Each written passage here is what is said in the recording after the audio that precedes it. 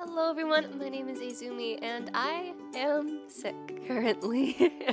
uh, I wanted to make a video though really bad about Internet Crush because sadly um, the last episode of Internet Crush has been delayed obviously. Um, not the last episode as in like the last episode of the series, the last episode is the episode that was supposed to come out last um, but is now put off um, should be coming out sometime this week, so make sure to stay tuned for that. But I thought I'd just give you guys a little bit of a behind the scenes of Internet Crush so that you guys have a little something to hold you over in the meantime. Now, if you hear me pausing in between lines a lot, um, that is because I I am coughing in between lines, and so that is that is why my voice is not to normal yet. That is why the episode is so delayed because I need to record lines and I can't in this state. So we are right now in the set of Izumi's house. Um, it is a really cute little set. I really like Izumi's house. I think it turned out really cool. Um, and I mean, all the sets I think are really cool. Actually, I, I have I've built um, this whole world by myself. Um, it is still in the progress of being built. Actually, um, just you know things that aren't really in frame slash aren't really needed to be built aren't built, but I'm slowly but surely uh, chipping away at the grandiose build that is this town, uh, aka Eco City. Um, if you look on the map here, uh, there are there are a lot of different uh, buildings that have already been built. Um, you also, if you watched any of the behind the scenes streams, you may notice that there's a lot more buildings than what were built before. Uh, before there was about there was this one, and then about like a couple of these, and uh, I think it was like a couple houses here and then some of these. Um, this wasn't here before. Um, uh, I don't think a lot of these were here before. Um, this I built on stream. Um, this I built on stream. This wasn't here before. I have a highway now going going on the corner um, of the town. Um, and I have like the layout of some of the streets ready um, to get ready to build more sections. Um, I, I have made a basically like a mock map of how I'm trying to make the make the city look. Um, and I'm very excited for when it gets to that final point, and I, I, I really like this city, and I think it's going to turn out really, really cool. A lot of the buildings are pretty unfinished, as you can tell. Uh, a lot of them don't have roofs. A lot of them are just big rectangles practically at this point. Um, but the blocking has been coming along as well as the building for more and more buildings. Um, over here we have, this is going to be a plaza. Um, I think it's going to be really cool looking. Um, it's right across the street from Denki's house. This is Denki's house right here. Uh, you can you can see it in there. Um, and this is going to be a really cool plaza across the street. I think it's going to turn out really, really cool in the end. I'm gonna fly over to school drinking my boba. Mm, delicious. and here we have Eco High itself. Um, I, I, I have a lot to work on in the second floor of this still. This is pretty empty still. Uh, ooh, look at the sun rays. Pretty. Look at those pretty sun rays. We love to see it. Um, and also we have the gym. The gym is completely empty. Uh, it is it is not finished in the slightest. Uh, but the first floor and the third floor are pretty, pretty much, at least for the most part, from like an exterior standpoint, finished. Um, obviously these are gonna have like more, more like rooms and stuff. Oh, it looks so pretty in here. Just ah. I'm very proud of how these sets are turned out. I think I'm the most proud of these sets as I've been proud of any set really. Um, Internet Crush and uh, like my past projects, uh, such as Charmed Academics, like they have very different aesthetics. Um, and I feel like um, each time I get to play around with a new aesthetic, it's just a lot of fun. Um, and it makes me feel like I, I really am able to explore every type of way I could build something. I want to do even more build streams and even more behind the scenes content, but I want you guys to tell me exactly what you want to see. Um, would you like to see um, some set tours? Would you like to see uh, possibly, uh, I don't know, a Q&A? Would you like to see me talking about editing? Would you like to see me talk about writing? Whatever it may be, just let me know down in the comments below. Um, I really, really enjoy making content. Um, and I really want to make sure I make content that you guys enjoy.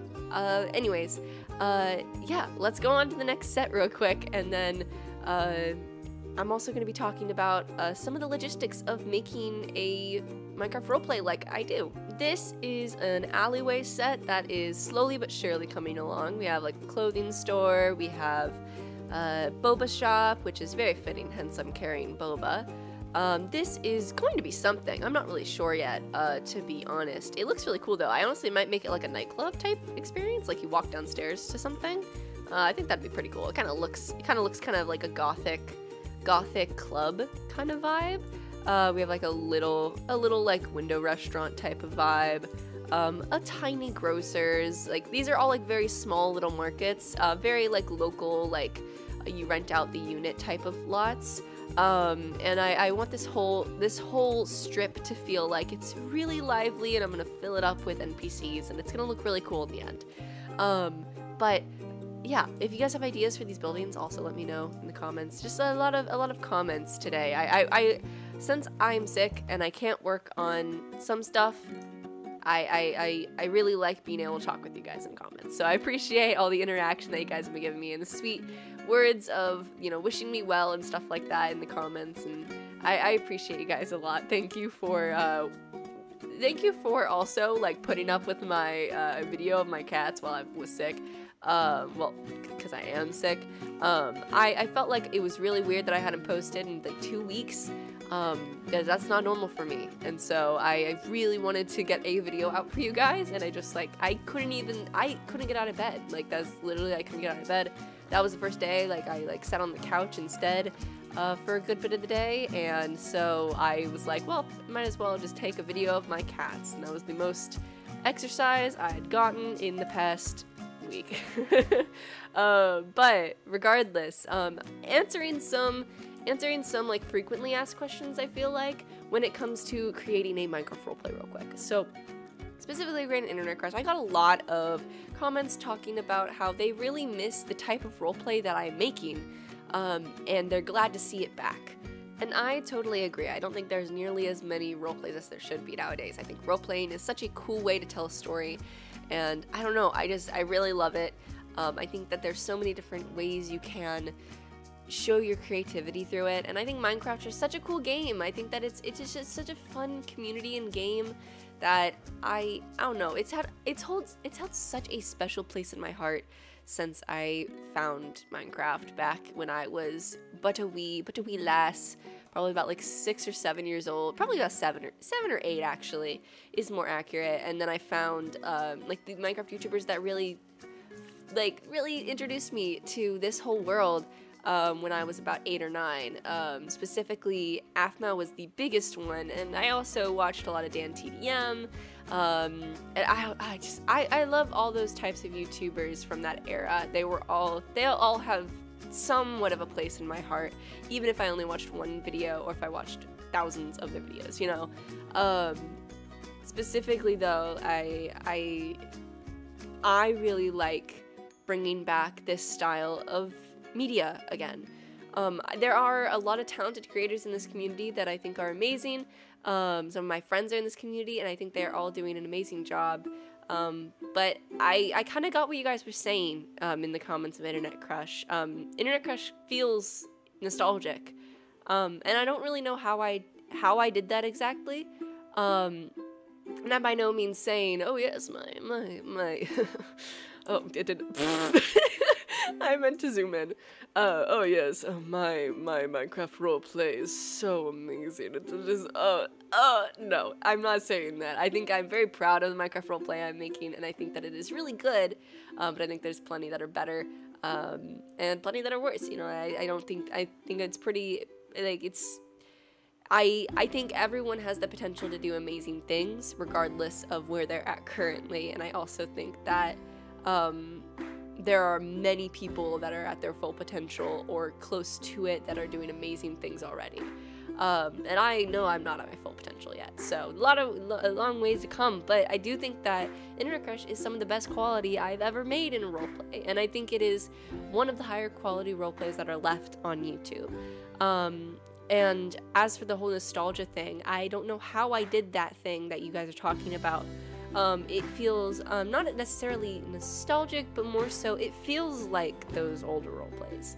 Um, it feels like the 2016 2017 era of, you know, Minecraft role plays, I feel like. Um and I don't I again, I'm not sure how. Um I'm really happy though that it that it gives you guys those vibes. I mean, it gives me that vibe too cuz it's really healing for my inner child internet crush because it is a story I came up with in 2017 18 like around there like uh, it's 2018 it's actually exactly because I met Tamakichi aka Gabe in 2018 and we started dating in 2019 and I met him through internet crush because this was an originally a story that was very different from what it is now uh, that was going to be a Minecraft roleplay movie um, back in 2018 um, called Internet Crush, and I ended up taking that story, merging it with Echo High, um, and creating the current day Internet Crush.